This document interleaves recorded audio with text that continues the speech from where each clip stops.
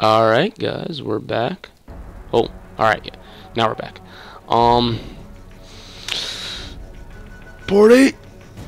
Right where we left off, let's go.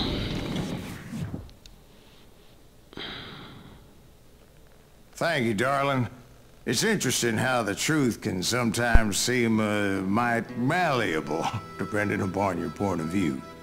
Like how those dime novels make you out to be something you're not? Jack, don't be starting trouble. No, he's right. They do tend to exaggerate. Did they exaggerate your part in taking down the Daltons? Well, I was there in the flesh, boy, so I saw what happened firsthand.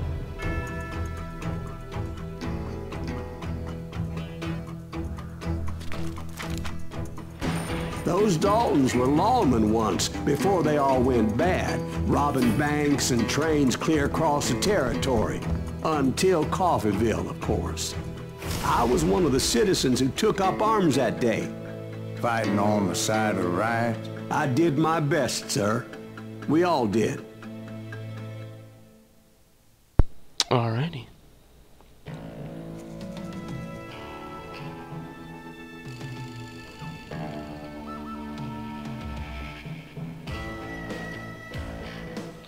It's pretty dope music right now. It was early morning. One of my friends was a local gunsmith, and he handed out firearms to anybody who'd take one. You see, the Daltons got it in their heads to rob two banks at the same time. Two banks on the same damn street. Where where did my thing go? I just had I don't want this gun.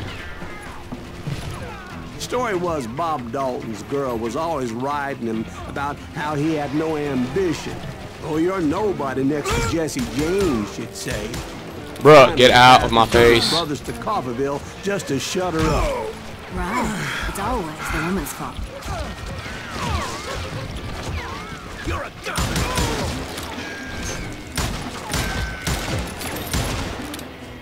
Oh, he's already dead.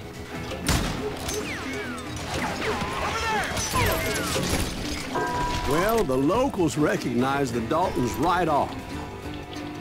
Before they could get away, half the town took up arms to defend their property. Their first mistake was pulling a job in their own damn hometown. The boys grew up in Coffeyville, so everybody knew them. The bank teller tricked them, telling them the time lock on the safe wouldn't open till 9.30. Well, that gave the locals enough time to prepare an ambush for those sons of bitches.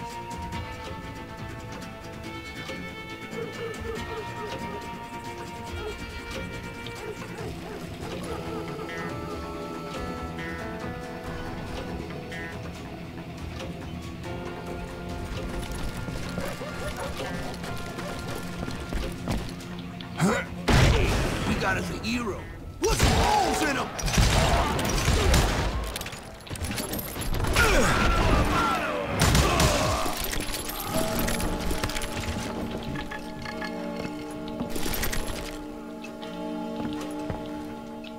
A nugget is somewhere.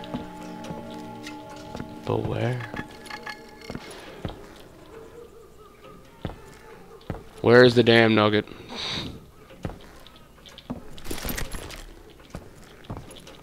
This is what pisses me off when you can't find the stupid nugget thing. It's probably upstairs or something.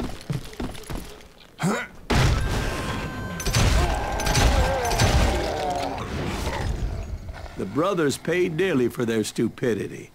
But everybody knows they had it coming. There's more to it than that. I read all about that day, so I know for a fact that it went down very differently. You gotta be kidding me, right? First of all, it was high noon. A posse of U.S. deputy marshals were on the rooftop across the street. Get ready, boys. They're gonna make a move. The lawmen had been tracking the dolphins for months, and now they finally had them dead to rights. Among them was a bounty hunter feared by many a lawbreaker. This man had no intention of letting the Daltons slip away. The marshals tried to get the Daltons to surrender. They'll give up eventually. We just gotta wait for some of the bitches out. This bounty hunter knew that the brothers were far too proud to ever lay down their guns. How do I get down? Are you kidding me? If there's another way of getting down, then that's that's a damn shame.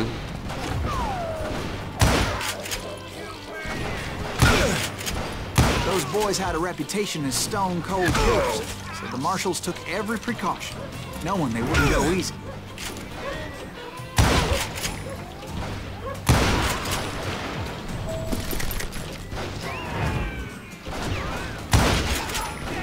Met an adversary that day who had no fear and offered them no quarter.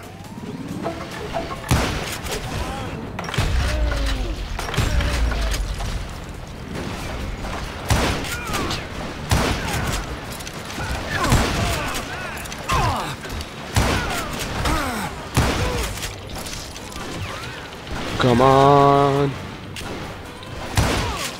Right in the booty. You went in there alone to confront those criminals. Oh yeah, now the ladder appears. Oh, okay. One of the marshals shouted, Where are you going? Are you crazy? Hey, where do you think you're going, dumbass? That rifle's mine. But he paid him no mind. He saw a way to get around to the back of the bank. Okay. Then he figured out how to hit the Daltons from a direction they weren't expecting. Guess not through the door. Would, would seem to be. Above. Fortunately, a water tower was right there. Of course, of course, a water tower's right there. A moment later, he was climbing up a steep ladder, laughing at danger as he did.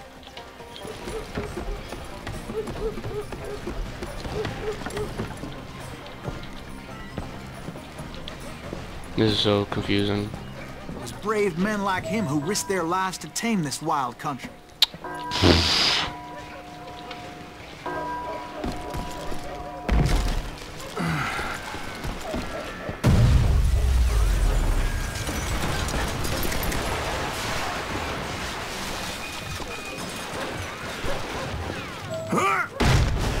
We've got company.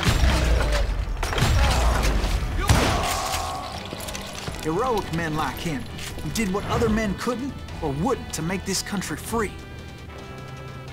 If I pick up the sawed off, Jim Bowie, and I Davy get Crockett, oh. who died defending the Alamo. I did not want this sawed off. Is that Silas Greaves? Son of a bitch! Please give me whatever weapon you have.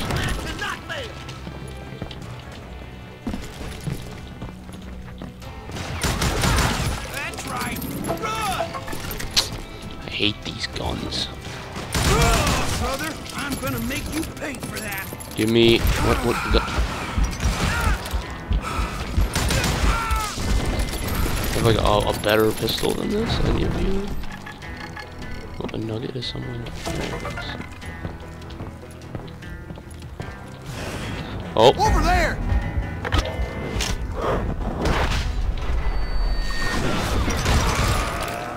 still killed them. Oh, what is this that I read? Yeah. That's what I like to see. That's Silas Greaves. What the hell? Blam! Blam! He came away victorious, taking down those thieving Daltons.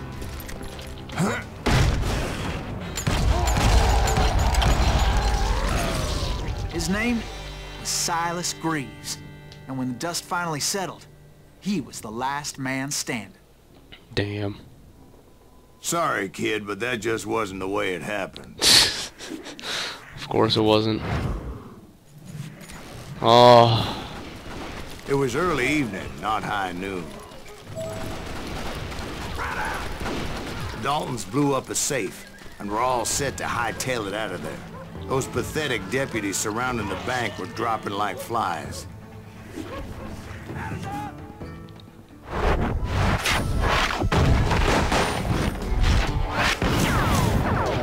leader the love of the loser. I had been tracking those jokers for months, waiting for them to do something reckless. Finally, they did. Those stupid bastards decided to rob two banks at the same time in the same town where everybody knew them. But they still had friends in Coffeyville. Where am I going? It's this way? Oh, it's most definitely this way.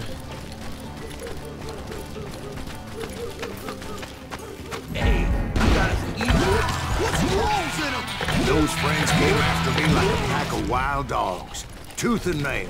They were coming at me from all directions. I caught sight of the Daltons running with the money and didn't want to lose them. The Problem was, they knew the town better than I did.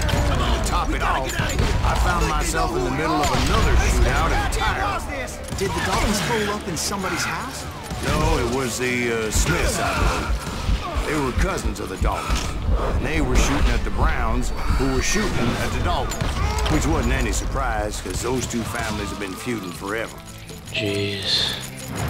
And since the Joneses are related to the Browns, they shot at the Smiths, pissing off the Heimhoffers, whose daughter recently married a Smith. Well, bullets were flying every which way as all the old feuds in Kansas caught fire all at once. There was a hell of a lot of pissed off people in Coffeyville that day.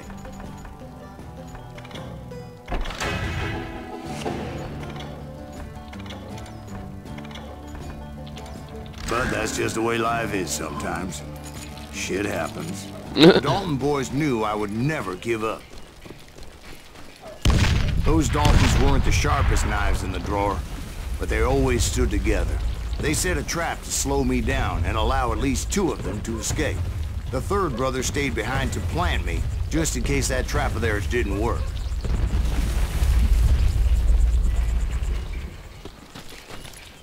Where's the other one? Oh.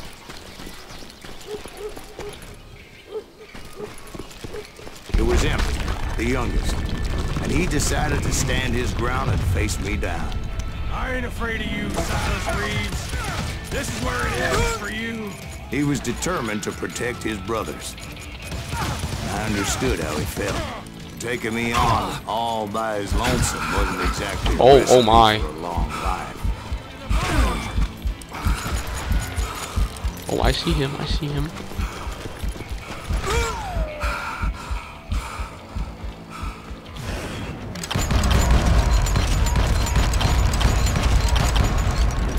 Gonna beat you like a red-headed stepson. Like a redheaded stepson. How? You just ate a stick of dynamite. Jeez. You messed with the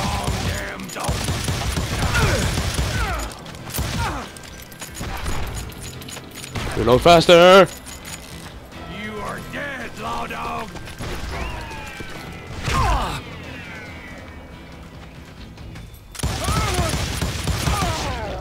One down. But Emmett Dalton survived the robbery in Coffeyville. He's the only Dalton who did. They say he was shot 23 times. All right. Well, 23 Dwight, who do you think put all those damn holes in him? Jeez. But I have to admit, that boy had grit. Alright guys, that was part 8. Yeah, Big O 227 out. See you in the next one. Peace.